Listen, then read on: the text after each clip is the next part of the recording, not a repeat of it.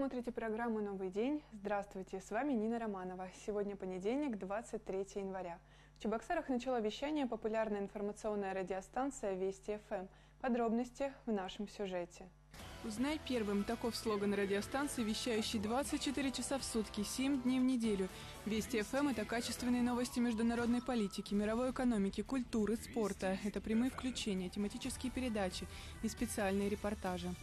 Это Прежде всего, конечно, заслуга наших коллег из радио-телепередающих центра Чувашии. Им за это огромное спасибо.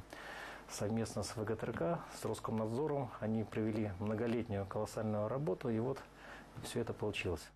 Слушать радиостанцию можно на нашем сайте в режиме онлайн в любой точке мира, где есть интернет, на любом гаджете с любой операционной системой.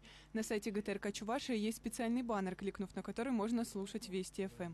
Сейчас транслируются только федеральные информационные программы, но уже с февраля появятся местные новости и тематические радиопередачи. С февраля радио Чувашия также планирует выходить небольшими отрезками на радиостанции Вести ФМ со своими местными уже новостями. Их будет у нас 11 раз в день выпусков выходить. По выходным 9 выпусков. Частота вещания в FM-диапазоне 98,5 МГц. Мощность передатчика 250 Вт при максимальной 1 кВт. И передающая антенна находится на Чебоксарской телерадиобашне, поднята на высоту 165 метров. Ну, все это в купе дает достаточно приличную зону вещания. Россияне начали слушать Вести ФМ в феврале 2008 года. Первыми были москвичи. Теперь радиостанция заработала и в нашей республике. Москва, Самара, Калининград, Владивосток. Вещание ведется более чем в 60 российских городах. Теперь у чебоксарцев появилась возможность следить за новостями вместе с Вести ФМ на частоте 98,5 МГц. Но и это не все. В планах радищиков установить IP-камеры в павильонах, чтобы обеспечить еще и онлайн-трансляцию программ. Получать подарки всегда приятно, а вдвойне приятнее их дарить. Каждую неделю за правильные ответы на вопросы мы поощряем активных зрителей небольшими подарками от нашей телерадиокомпании. Вот вопрос этой недели. Угадайте, кто из ведущих новостей изображен на фото.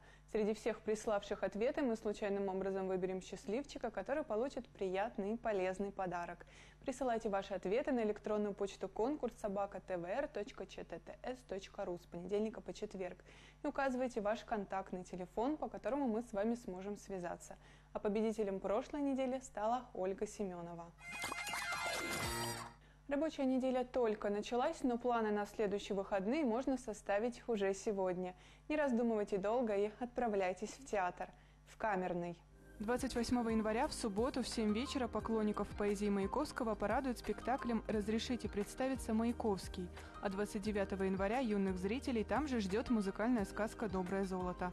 Начало в 11.00. На этом наша программа завершена. Я прощаюсь с вами до следующего понедельника. Но завтра будет новый день.